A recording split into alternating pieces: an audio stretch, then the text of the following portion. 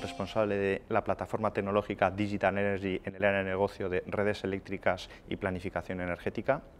Somos un grupo de investigadores que investigamos y desarrollamos soluciones basadas en inteligencia artificial y ciberseguridad aplicada al sector eléctrico, en concreto a la generación, transporte, distribución y uso final de la energía.